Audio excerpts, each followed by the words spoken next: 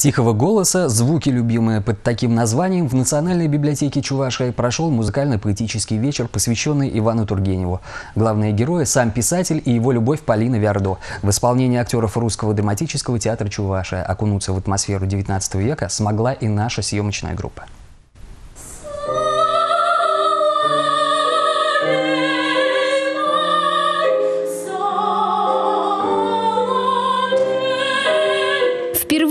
Творчеством Ивана Сергеевича Тургенева россияне знакомятся в школьные годы. После окончания учебного заведения изучение стихов и прозы на совести каждого человека. Литературный вечер – неплохой способ приобщить себя к русской классике.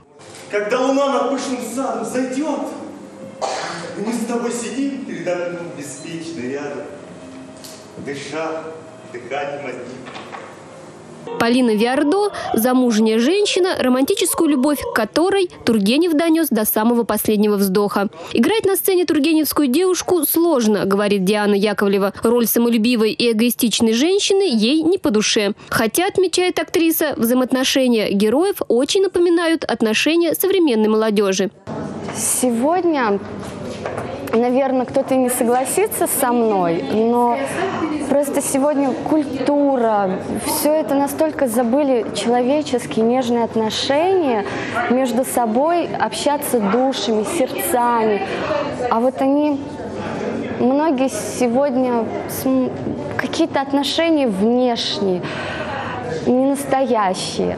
А Тургенев, мне кажется, он современен. И скоро мы вернемся к тому, что мы захотим слушать друг друга. Александру Смышляеву, играющему Ивана Тургенева, тоже непросто.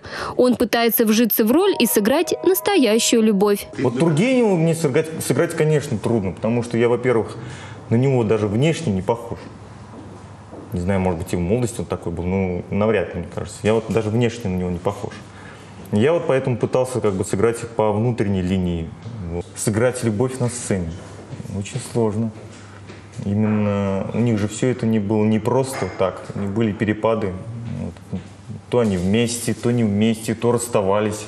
Сидящие в зале зрители не заметили смятения артистов. Они прожили 45 минут вместе с Тургеневым и Виардо. И любое переживание героев отражалось на их лицах. Ольга Алексеева, Андрей Спиридонов, Республика.